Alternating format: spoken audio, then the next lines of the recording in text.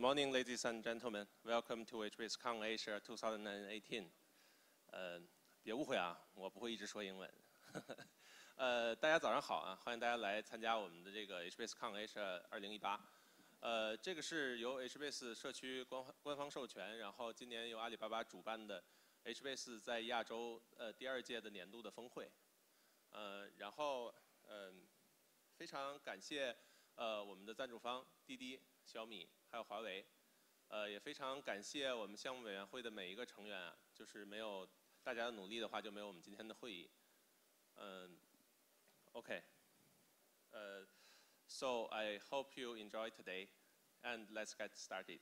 啊，希望大家享受今天的议程，然后让我们就开始今天的这个会议。Okay, so uh, please join me to welcome our, our speaker of the first keynote, the HBase project leader, Michael Stack, to share with us about the current HBase project status. Good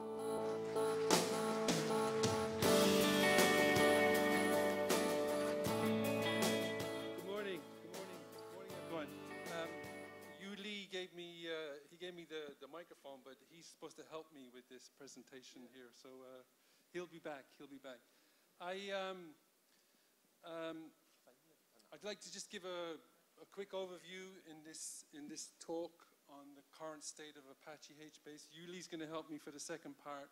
The first part will just be uh, just generally where we are, what's happened in the last year, um, and I'll touch on things like our release of HBase 2.0, which was a significant um, uh, contribution by the, the, the, the project uh, this year. Let me see my clicker, see if it works. Oh, so these, these slides are a bit older. So uh, I'm, I'm going to rush through, through this um, pretty quickly because I want to get to the fun part, the second part, the piece that Yu Li's going to be doing. Um, but um, I just put this picture up here. There's a bunch of handsome fellows up here, as you can see. Some of them are here in the audience today. This is from um, last year's HBase Con, which was in Shenzhen, hosted by um, Huawei. Not, hands, handsome people. Um, on Apache HBase, I think it's pretty fair to say that we can, uh, it's pretty pervasive. Um, you'll see it in lots of places. When you talk on your iPhone, to Siri, it's a hit against the HBase cluster.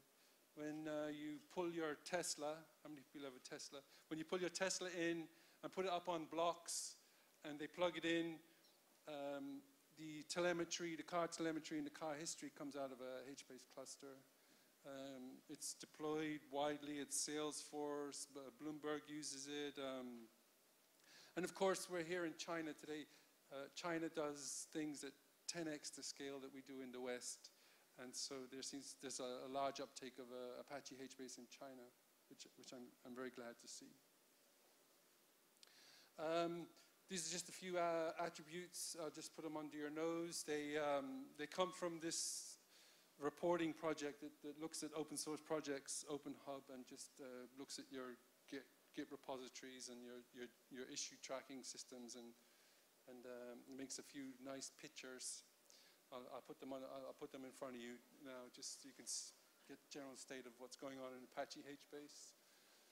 So HBase is almost 10 years old now. Um, if you started writing HBase now, if a single person, it might take them, it might take them 222 years to get to where we are now. Uh, the Open Hub says that uh, it's uh, a mature code base, large team, stable year-over-year commits, um, about 800,000 lines of code. Is line lines of code graph. We used to check in protobufs. That's the big hump over there. We, do, we don't do that anymore. We generate them as part of the build. Here's our JIRA issues, open versus closed. Uh, looks like we could do some, some, uh, some cleanup. Uh, this a lot, of, lot more open than there are closed. But you can see the general tendency. This is um, commits year over year. You can see the spikes as we you roll out a release. I think uh, since last year we're up like 25% on commits. This is contributors. I think we're up 15% on contributors over last year. Uh, uh, concurrently, at any one time, it seems like there's more people working on uh, Apache HBase uh, as time goes by. Um, I, I just, just, just to note that uh, a lot of our contributors are, are, are, are, are, not just from the US anymore. They're increasingly, increasingly, they're um, from around the world uh, and, and importantly from, from China. Uh, in this position, uh, uh we had a HBase Con West in California a couple of months ago, and in this position, uh, Misty, our, our, our chairperson, um, she, she's chair of the Apache HBase Project Management Committee. She, um, she said something towards the end of her project status talk. And I'll just, I'll just read through it here because I think it's, it's, it's, good to repeat. It's good to repeat. Um, she said that the HBase project represents solid, useful computer science, solves problems, runs businesses every day. Uh, to keep that going, we need to keep bringing new ideas and approaches into the project. We need to continue to attract people from all backgrounds and parts of the world. I'd love to see more women, more people of color, and even more worldwide diversity.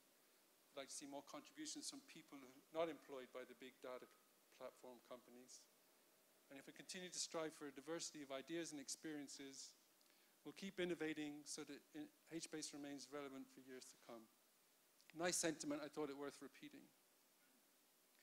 And just, just to underline what Misty was saying, I, I just want to call out, this is pretty, it's pretty straightforward, but HBase belongs to us, the contributors. There is no big company behind HBase with a choke chokehold on, on its future development. It's whatever we want it to be. So um, uh, it has no owners, anyone can help. Um, we'd love to help. Anyone who wants to contribute, um, come on by. Uh, who, who's contributed to Apache over the years? Please raise hands.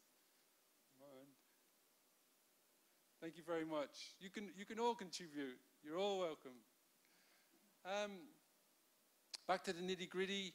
We have currently about six, maybe seven active branches, which is too many. Um, too much backporting going on.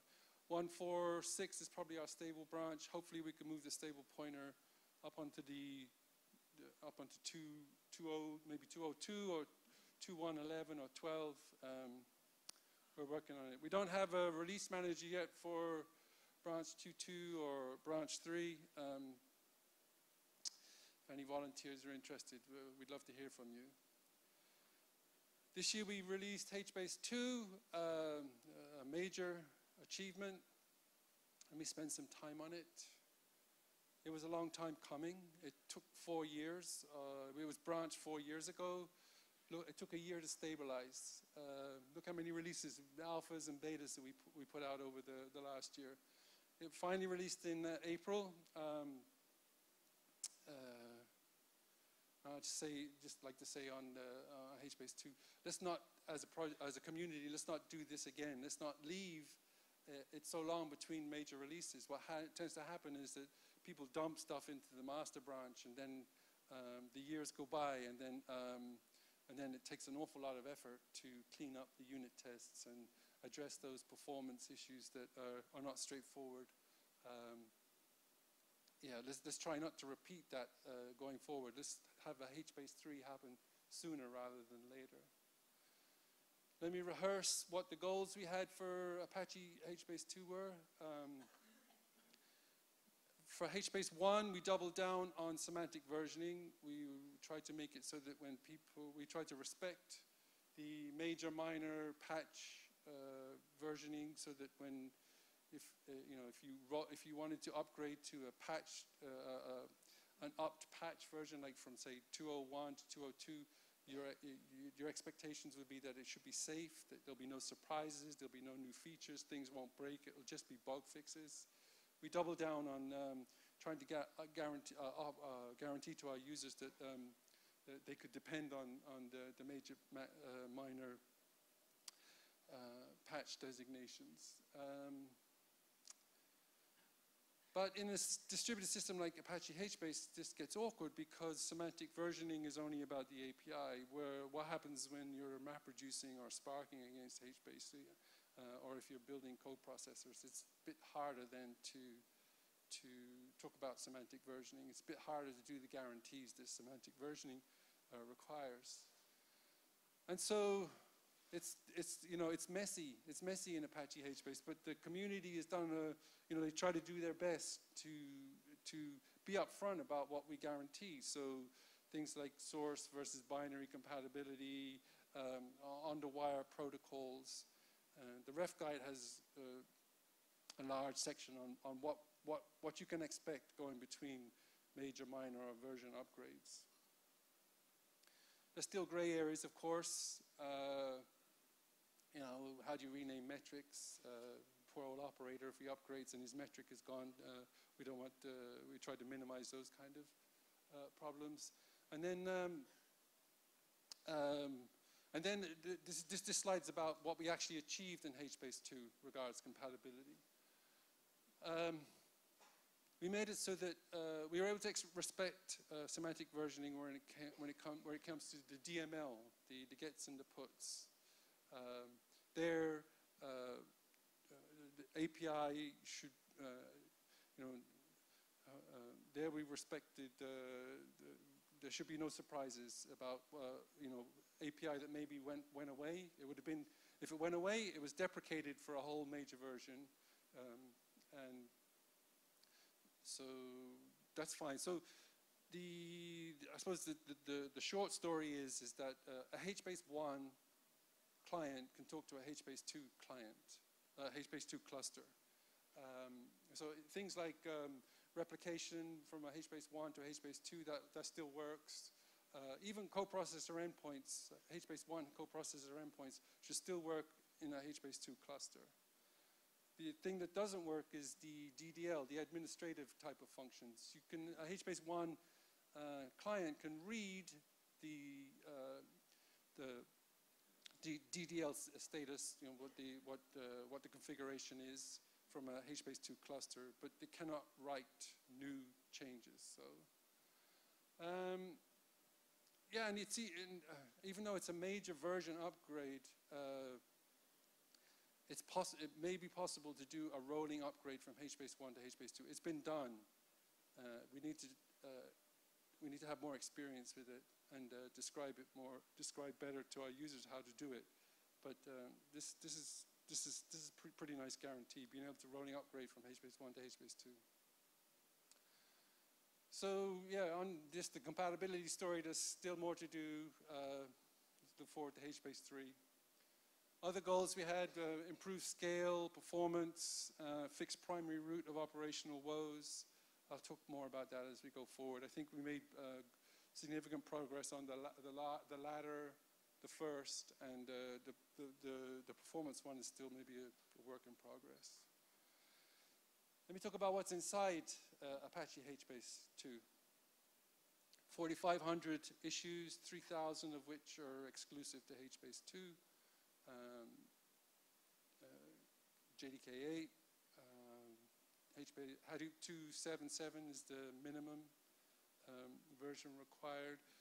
Uh, just a side note, be careful about how do they do this thing where they'll make a release, but then the PMC, the, the project management committee will say it's not fit for production. So be sure to read the fine print, especially around Hadoop 3.0 versus Hadoop 3.1. And anyway, uh, uh, in Apache HBase, we're trying to manage that for you, um, but beware the fine print.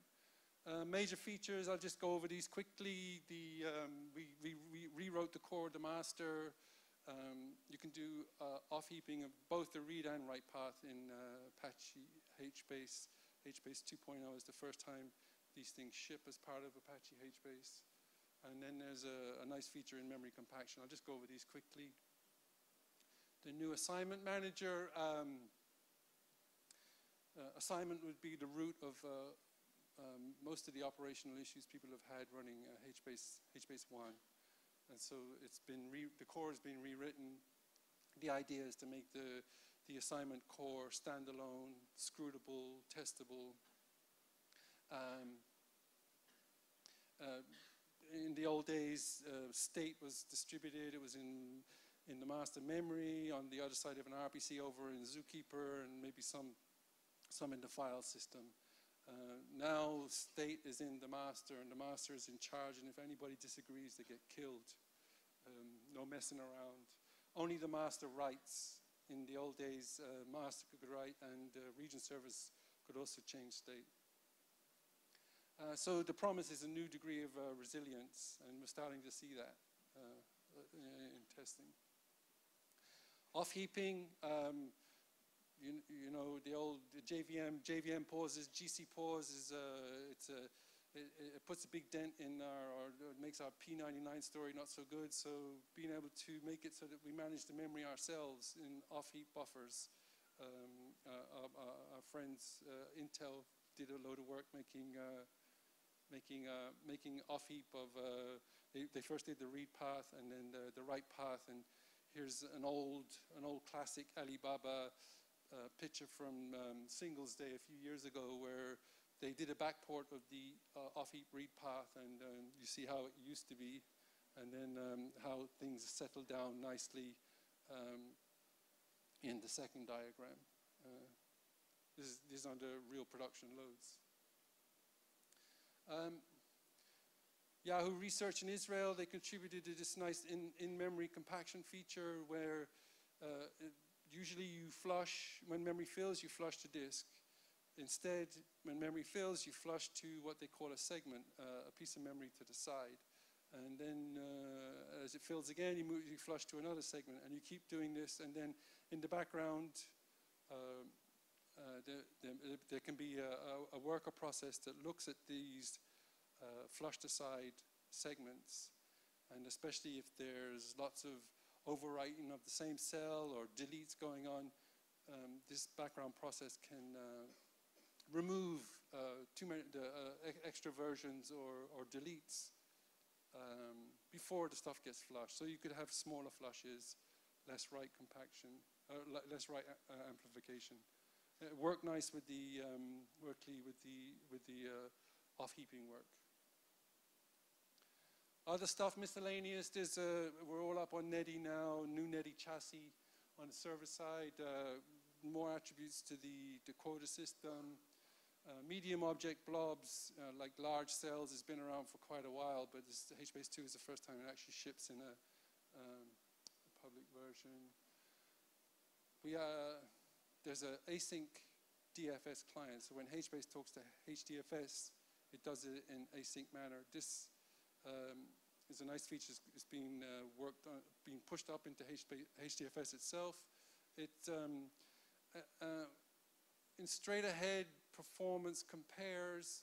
It doesn't look so good. It doesn't look as good as the DFS client. But when the load comes on, then it starts to shine. You'll see the old DFS client, the, um, the native DFS client, You'll see it starting to burn your CPU and uh, slow down, whereas this one starts to, uh, the CPU usage is, uh, holds, uh, is, is, way less and uh, the throughput starts to go up. So um, very nice addition. New async client will move our current synchronous client up onto the new async client, maybe for HBase 3.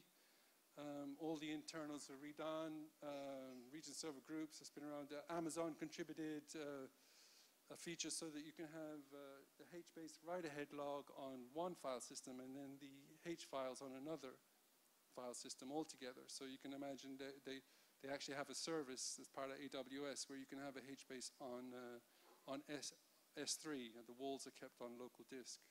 I wouldn't keep my financial data in it, but um, there it is. You can go big, definitely.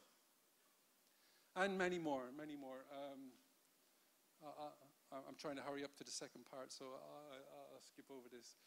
A, a quick uh, detour on coprocessors. If you've written any code, coprocessors are, are, are, code that you write and you deploy inside in the HBase process. There's a, there's a means for doing that.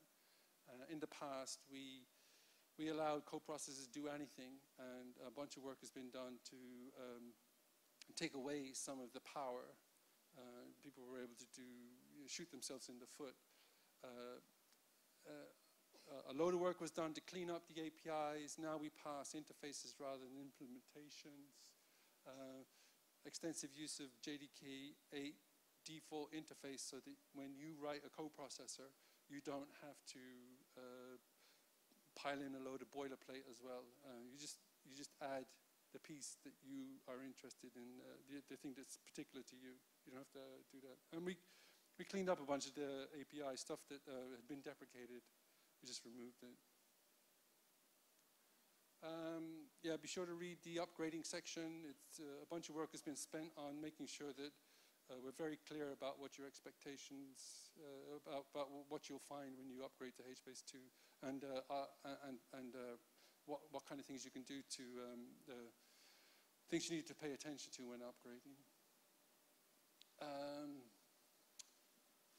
these are the old slides. Yeah, I already talked about this. Yeah, to-dos, there's to-dos. uh, HBase 2.1, um, 2.1 went out uh, last, last month. Um, Duo Zhang was the uh, release manager. Um, uh, he made use of a, the new state machine in, in, uh, in, in, in, the master for uh, doing peer modifications. There's a new serial replication feature that will be talked about later today by Wang. Wang Ho. Um, there's, in 2.1, there's a shaded HBase client. So your class path doesn't have to be polluted by the tens or hundreds of jars that uh, a HBase client can actually ship with.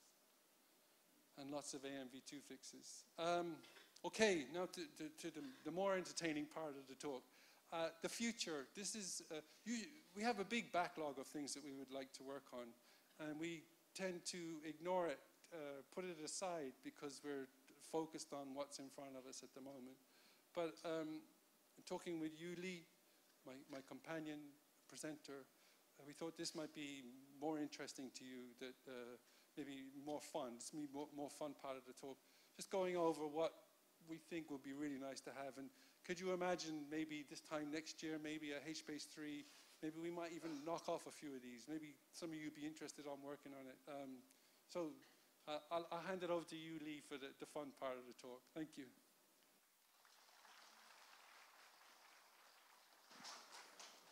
Thanks, Stack. Yeah, so uh, please allow me to use the native language for the next part. But, okay, you know, the, the slides will be presented in English, so don't worry. I'm sorry for that.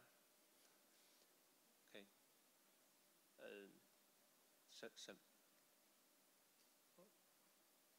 Okay. What? I'm sorry. One second, please.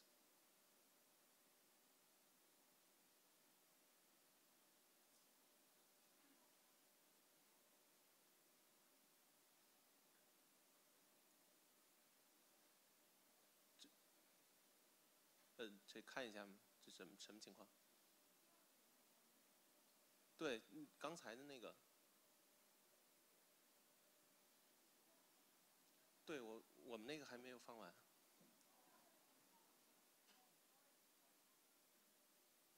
Sorry for that。呃，就是我后面主要是给大家聊一下，我们从我们社区的视角来看的话，在。未来的工作当中将要做些哪些事情？可能是在三点零，甚至是更后边的版本。嗯，那大家可以一起看一下，因为我们也也收到了很多大家使用 HBase 的痛点。然后，呃，就是如果有什么这里边没有 cover 的，大家会后可以找我们去沟通，好吗？OK。呃，那第一个部分的话，我们其实是呃。提到了就是说要能更便利的使用 HBase，呃，那这里边其实主要的一个东西，很多人提到的就是我们在 HBase 里边能不能给一个 native 的 c co support？OK，那这里边主要分两部分，一部分是内部的，一部分是外部的。那当然外部的 Phoenix 我们还是会继续的支持，那但是大家也知道 Phoenix 在某些场景下会显得比较的重，会有一系列的问题，那所以它并不是适用所有的场景，所以我们会考虑说。OK，在内部的话，我们呃考虑给一个 lightweight SQL support，那就非常像 CQL 的这种 SQL support。OK，然后我们也会去努力的提供我们官方版本的 secondary index。那这个东西其实也呃被希希希望了很多年。那当然，我们这个 secondary index 在 procedure v2 上面可能会实现起来更更好。OK，然后那对于外部来讲的话，我们会有一个更好的和 Spark SQL 的集成。这样大家在做 OLAP 类似的应用的时候，能够更加的便利。那我们会提供一个官方的 Spark HBase 的 connector，这是我们希望做到的。OK，然后在配置上面的话，我们希呃希望我们能够做到完全的动态的配置的更新。这样的话，那我们在运运维的时候去做一些配置的变更的时候，不需要去重启我们的 Region Server。那另外的话，我们希望我们能够提供一些配置的模板和 Auto Tuning 的功能。这样的话，它它能够做到某种程度上对于 workload、对于 application 的自适应，那可能会节节省大家的就通常的 case 的话，大家不需要自己去做非常复杂的 rookie 的 design。OK，这是有关应用性方面我们希望能够去做的方向。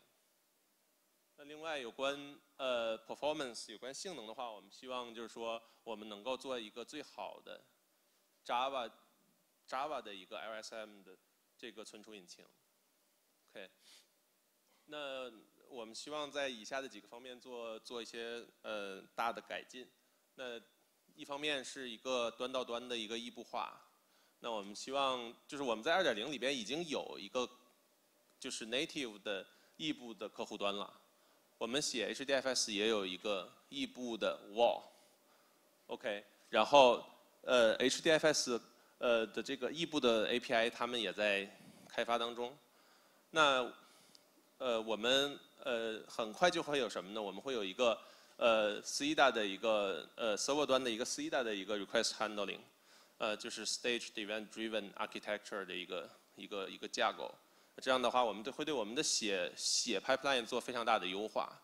那就是比如说你在写的时候，如果发生一些 I/O 的 stuck 的话，你不会不会不会就是把你的 handler 都占满。OK，那。呃，这个工作其实在阿里已经已经上线了。那呃，当然我们后边也会呃尽快的做 upstreaming。